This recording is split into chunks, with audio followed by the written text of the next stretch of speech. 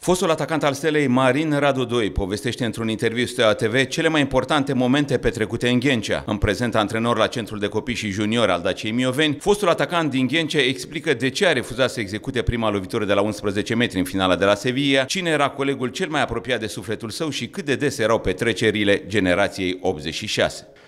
Care este cea mai mare bucurie pe care v-a oferit-o fotbalul? În primul rând a fost bucuria de a juca fotbal și asta este ce mai important.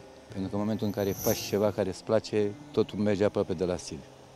Da, o întrebare care chiar mi-e drag să răspund la ea, pentru că fotbalul a fost, este și va rămâne prioritatea mea atâta timp cât uh, voi fi așa printre, printre noi.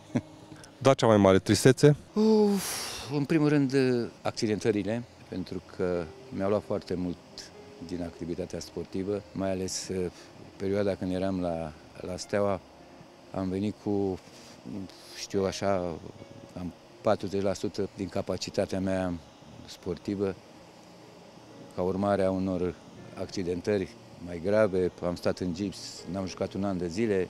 Da, a fost o perioadă grea, care și acum mă gândesc așa cu tristețe, pentru că puteam mult mai mult, îmi doream mai mult, dar din păcate organismul meu nu mai răspundea 100%.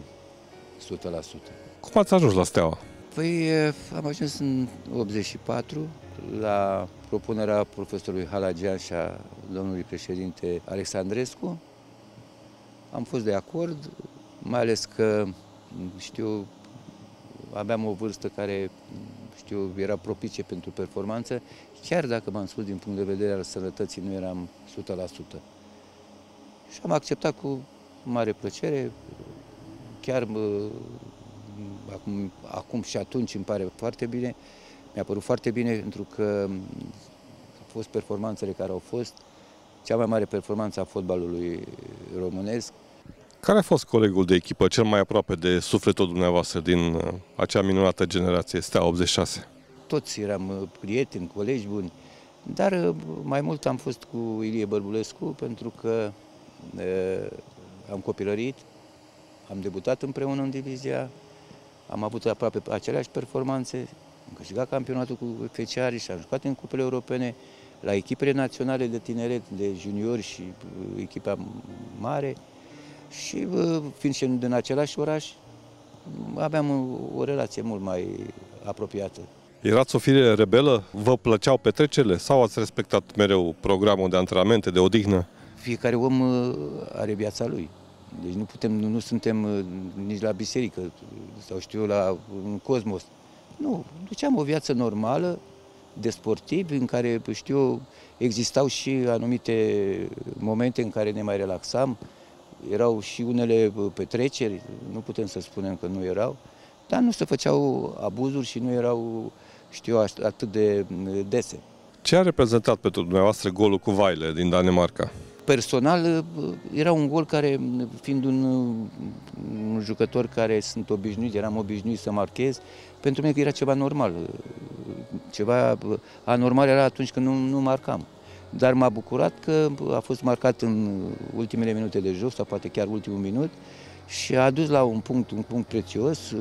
S-a creat, în primul rând, moralul a fost altfel, am privit și noi returul cu, cu alți ochi și ați văzut că a fost de, de, de, de bun argur. Care credeți că a fost momentul de cumpănă în acea campanie, în sezonul 85-86? Poate să spunem așa, mă gândesc la Helsinki, la acel gol de minutul 80, mi s-a remarcat de Pițurcă, și acel 0-0 pe, pe Ghencea, după o iarnă destul de grea și un teren impracticabil aproape, cu Mocirlă s-a jucat atunci și a fost 0-0, dar echipa s-a mobilizat, a crezut în ea și a dorit foarte mult performanță a făcut acel joc de excepție la Helsinki și am câștigat cu 1-0. Cred că atunci ar fi putut să fie, știu, un moment de cotitură. În final de la Sevilla ați prins 13 uh, minute. Ce a simțit în momentul în care ați intrat pe teren? Într-adevăr, era, a fost puțin mai greu, pentru că, de fapt, Naemi mă băgase să intru, să mă acomodez puțin, să bat 11 metri, trebuia să bat primul. Am intrat așa în pripă, încălzit, am uh, avut o stare așa de oboseală, de, știu și n-am executat uh, primul penalti. Și știu că și Naemi s-a supărat pe, pe mine și acum, dacă mă vede și acum, probabil că îmi reproșează și avea perfectă dreptate, pentru că eram unul din executanții buni de 11 metri, mai ales la divizia, din divizia A. De ce n-ați bătut uh, penalti? Acum chiar uh, îmi pare rău, chiar dacă ratam, ține, bineînțeles, ținând cont de ce am văzut atunci, că s-au ratat 6-7 lovituri de la 11 metri, uh, zic, mă gândeam acum, zic, dacă ratam și eu, nu știu dacă ratam, nu pot să spun nici dacă marcam, dar uh, trebuia să am mai multă încredere în mine, cum am avut tot timpul. Colegii v-au reproșat ceva la acel, la acel moment? V-au spus ceva? Spre bucuria noastră, finalul a fost fericit. Am câștigat uh, Champion League și vă dați seama că nu se mai gândea nimeni care a ratat sau care a marcat. Cum ați trăit seara succesului cu Barcelona? Păi am avut o masă comună, unii s-au culcat mai devreme, unii au mai rămas în hotel până mai spre 4-5 dimineața. Nici nu ne venea să credem că totuși suntem campioni europeni. Noi nu realizam, cel puțin, adică nu ne-am gândit, pentru că în momentul ăla trebuia să, nu știu câtă bucurie trebuia să manifestăm. Dar a fost așa o bucurie, să spunem, moderată. Dar luând importanța acelui eveniment, trebuia să fim, uitați-vă acum cum se bucură Real Madrid sau știu Când ați realizat, în ce moment, dimensiunea succesului de la Sevilla? După mult timp.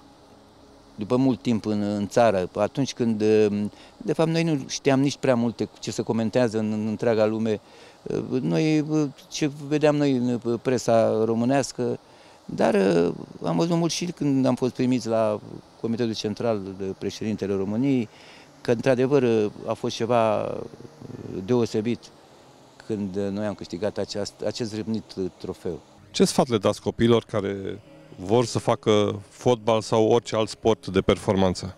Nu, să iubească ceea ce fac, să, să le placă. Fotbalul este un, un joc extraordinar de frumos, mai ales atunci când joacă chiar copiii care au o îndemânare bună, care le plac fenta, dribbling-ul, care le plac să, așa, tot ce este frumos.